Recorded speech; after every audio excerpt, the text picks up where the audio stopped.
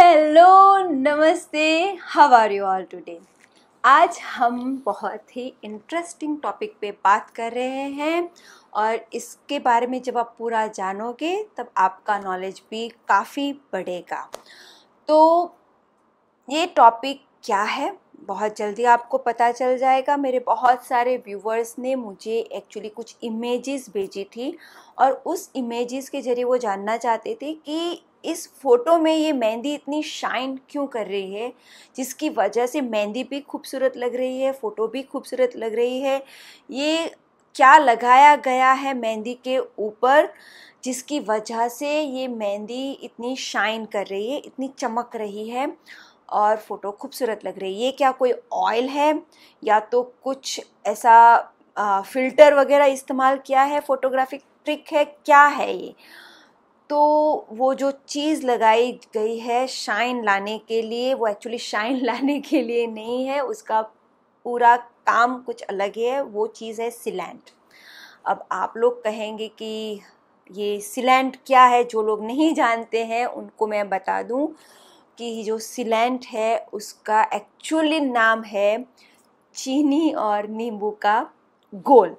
अब आप कहोगे कि क्या बिना जी टाइम पास कर रहे हो? नींबू चीनी के घोल के बारे में कौन नहीं जानता? हाँ जी, हम सबको ही जानते हैं। अब मैं सिलांट नाम मैंने नहीं दिया है और उसको फैंसी मैंने नहीं बनाया है, लेकिन बहुत ही काम की चीज़ है। इसलिए आप ध्यान से इस वीडियो को देखिएगा, क्योंकि आपको बहुत सारी ऐसी जानकारी मिल सकती है जो आपके पास नहीं है। जो हमारे पास हमेशा होता है, उसकी हम कद्र नहीं करते।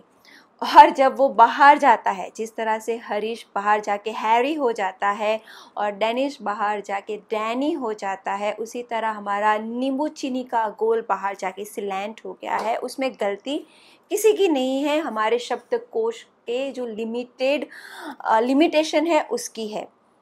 हमारे पास सिलांट का कोई इक्विवेलेंट वर्ड ऐसा नहीं है कि जो हम चीनी, नींबू के घोल के लिए इस्तेमाल करें और उनके पास शायद नहीं कोई इक्विवेलेंट ऐसा आसान वर्ड होगा, इसलिए उन्हों, उन्हें लगा कि सिलेंट वर्ड ज़्यादा अप्रोप्रिएट है, इसलिए उन्होंने वो शब्द का इस्तेमाल किया। इसमें गलती कहीं पे भी नहीं है। हालाँकि उन लोगों ने हमारे नींबू चीनी के जो पानी का जो गोल है, उसको बहुत ही इज़्ज़त बख्शी है, उसका रिस्पेक्ट बढ़ाया है और आज मार्केट में वो एज अ प्रोडक्ट बिकता है। तो ये इज़्ज़त हम लोगों ने नहीं दी थी। हम तो हमेशा बोलते हैं, क्या नींबू चीनी का गोल लगाएँगे, चिपचिपाहट हो जाएगी। बिल्कुल मुझे पर्सनली पसंद नहीं है। तो ठीक है, खैर है, ये टॉपिक आज का हमारा वीडियो का यही है। सिलेंट के बारे में बात करेंगे। इन शॉर्ट हम नींबू चीनी के घोल के बारे में बात करेंगे। क्यों ये ज़रूरी है? किस तरह से ये लोग बनाते हैं, ये लगाना ज़रूरी है कि नहीं है, इसके कोई ऑल्टरनेटिव्स है कि नहीं है, इसमें क्या ऐसा एडिशन हम करें जिससे इसकी इज़्ज़त बढ़ जाए और हम अच्छे से उसको मार्केट में एज ए प्रोडक्ट बेच बेच सकते हैं। तो ये सारी बातें हम आज के वीडियो में करेंगे। मैं सबसे पहले आपको ले जाती हूँ अपने किचन में, जहाँ पे मैं आपको इसकी रेसिपी जो मेरा वर्ज़न है, वो मैं शेयर करूँगी, लेकिन मैं आप लोगों को ताकीद करूँगी कि आबो हवा की हिसाब से, आपके यूसेज की हिसाब से आप लोगों को उसमें थोड़े चेंजेस करने पड़ सकते हैं। तो डेफिनेटली एक्सपेरिमेंट कीजिए एक्सपीरियंस कीजिए और अपनी एक खुद की रेसिपी बनाइए, क्योंकि मैंने भी बहुत सारे आर्टिस्ट को उनकी रेसिपी पूछ के उसमें थोड़े अपने एक्सपीरियंसेस डाल के मैंने एक ये रेसिपी तैयार की है। तो चलिए, मैं लूँगी एक्चुअली एक पा, एक भाग नींबू का। जैसे कि अगर मैं एक कप नींबू ले रही हूँ तो मैं एक कप चीनी लूँगी। मैं उसको चढ़ाऊँगी गैस के ऊपर। मैंने इंडिया में ये कभी नहीं सीखा था कि हम नींबू चीनी के घोल को एज ए चाशनी के तौर पे पिघलाते हैं। हम वैसे नेचुरली ही पिघलाते थे, लेकिन ये कुछ अच्छा मुझे यहाँ पे सीखने को मिला कि आप उसको चढ़ाइए गैस के ऊपर और जब तक चीनी पिघल जाए तब तक गैस को ऑन रख के गैस को बंद कर दीजिए। अब क्योंकि बर्तन गर्म है वो चाशनी बनाता रहेगा इसलिए मैं इस गोल को दूसरे बर्तन में आ, खाली कर दूँगी ताकि वो जल्दी से ठंडा हो जाए और गाढ़ी चाशनी ना बन जाए क्योंकि हमें यहाँ पे गाढ़ी चाशनी नहीं बनानी है गुलाब जामुन की चाशनी तो बिल्कुल नहीं बनानी है। अब मैं क्या करूँगी कई कई आर्टिस्ट इसी तरह इसे इसका इस्तेमाल करते हैं। एक भाग चीनी, एक भाग नींबू या तो पानी, जो भी आप इस्तेमाल करना चाहो। ज़रूरी नहीं है कि आप नींबू ही इस्तेमाल करो। यहाँ पे चीनी ज़्यादा ज़रूरी है, क्योंकि चीनी की जो चिपचिपाहट है, वो हमें चाहिए। तो अगर आप नींबू इस्तेमाल नहीं करना चाहते हैं तो आप नींबू की जगह पे पानी में भी चीनी को पिघला सकते हैं। फिर मैं क्या करती हूँ, थोड़ा सा ठंडा हो जाए, इसके बाद इसके अंदर आधे से पौने कप जितना वापस पानी डालती हूँ। तो मेरी चाशनी थोड़ी पतली हो जाती है और मैं इसी रेसिपी का इस्तेमाल करती हूँ। इसको मैं भर देती हूँ स्प्रे बॉटल के अंदर। अभी मेरे पास छोटी स्प्रे बॉटल नहीं है, लेकिन मैं प्रीफर करती हूँ कि मैं छोटी सी स्प्रे बॉटल में भरूँ ताकि मेरा मेहंदी का जो डिब्बा है उसके अंदर वो आसानी से आ जाए।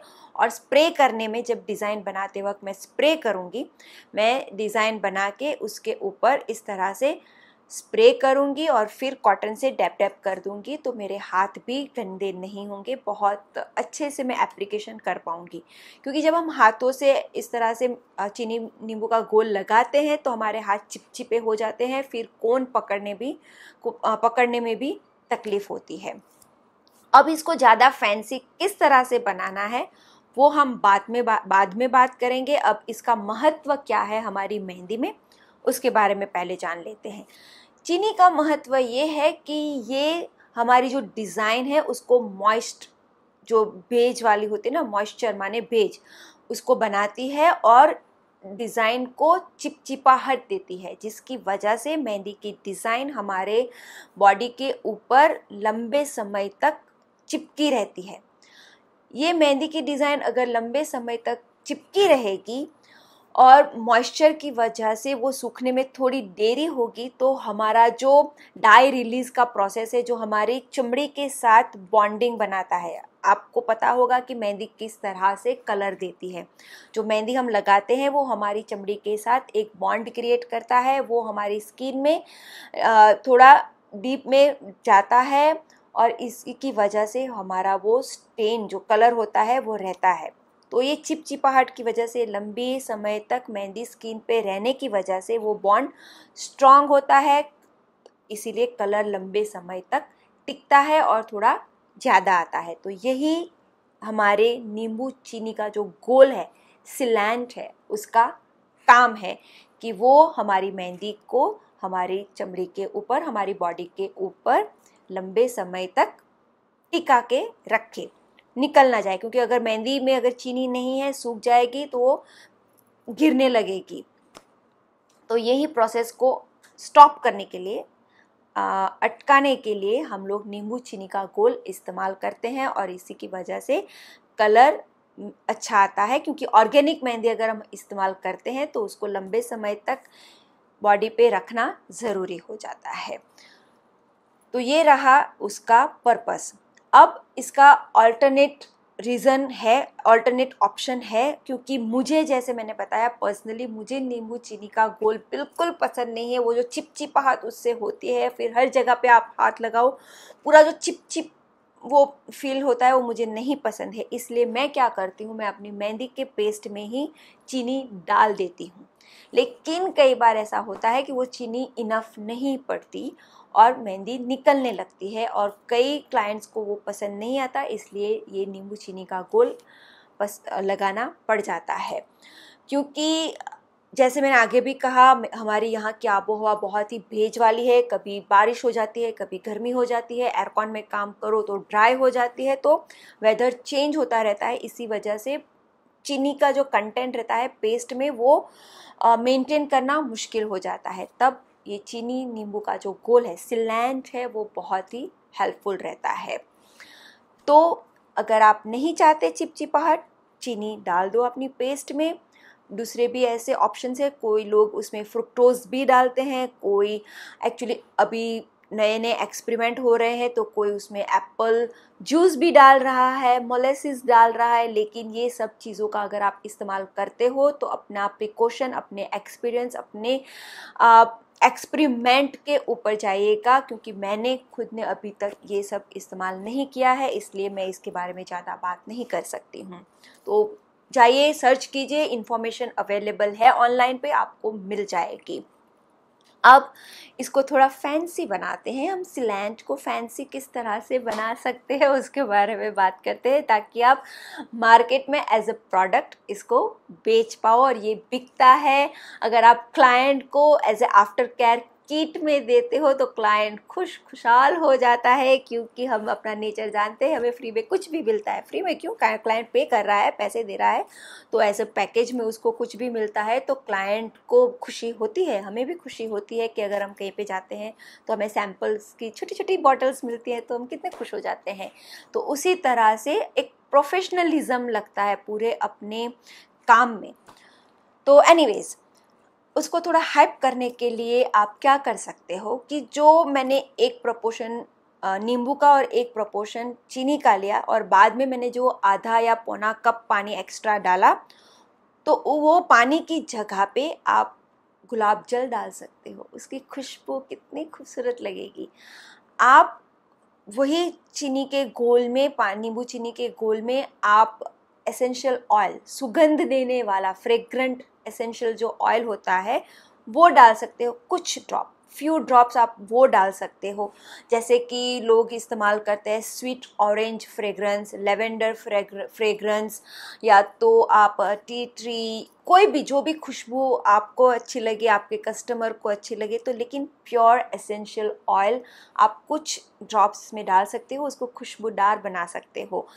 आप एक और भी चीज़ कर सकते हो, जो पानी उबालते हो आप, जो पानी डालते हो, वो पानी को आप पहले रोज़ की, गुलाब की जो सूखी हुई पंखड़ियाँ होती है, गुलाब पेटल्स जो होती हैं, उसको पानी में उबालिए, उसको अच्छे से उबालिए, जैसे कि हम टी को बॉयल करते हैं, चाय को उबालते उस तरह से उबालिए और पूरा ऐसा गुलाब का खुशबूदार पानी बनाइए, उसको उसका फिर आप इस्तेमाल कीजिए तो वो कलर भी आ जाएगा गुलाब की पंखड़ियों का।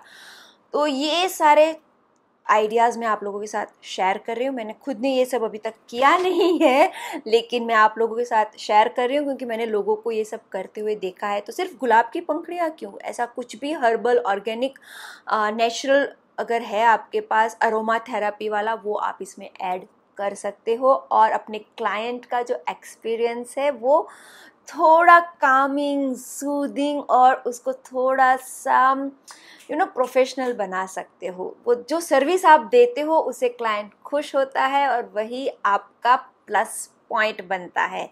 हमेशा ये याद रखिए कि जो भी पूरा खेल है, वो एक्सपीरियंस का है। जो आप अपने क्लाइंट को देते हो, किस तरह से आप उसको ट्रीट करते हो, किस तरह से आप उसको, उसका जो पूरा एक एक्सपीरियंस होता है, उस को अमेजिंग बनाते हो, वो आपका एक्चुअली प्लस पॉइंट हो जाता है जब सिलेक्शन आता है दो आर्टिस्ट के बीच में। तो ये छोटी छोटी बातें हैं सिलैंड के तौर पे। सिलैंड का उदाहरण लेके मैंने आप लोगों के साथ शेयर किया है। आफ्टर केयर का जो प्रोसेस है आफ्टर केयर माने मेहंदी लग जाने के बाद की जो प्रोसेस है, उसका ये एक भाग भाग है। दूसरा एक प्रोडक्ट आता है आफ्टर केयर बाम अब उसके बारे में हम दूसरे वीडियो में बात करेंगे। कुछ तो हम छोड़ दें दूसरे वीडियो के लिए। और अगर आपको इस प्रोडक्ट के बारे में नहीं पता था और हमारे वीडियो के ज़रिए पता चला है तो डेफिनेटली हमें वीडियो के ज़रिए तो डेफिनेटली आप हमें कमेंट के ज़रिए बताइए कि आपको हमारे वीडियो से इन्फॉर्मेशन मिल रही है, जो आपको उपयोगी है, ताकि हमें पता चले कि हमें और कौन सी इन्फॉर्मेशन आप लोगों के साथ शेयर करनी है तो सिलैंड बनाइए। अगर आपको एज ए प्रोडक्ट बेचनी है तो बन, बनाइए, बेचिए। अपना एक प्रोडक्ट बन, आपके कैटलॉग में ऐड हो जाएगा और आपका क्लाइंट भी खुश हो जाएगा। आप भी खुश हो जाओगे। हम बहुत जल्दी वापस मिलते हैं नए वीडियो के साथ। तब तक के लिए stay blessed stay inspired. Take care everyone. Thank you. Bye bye see you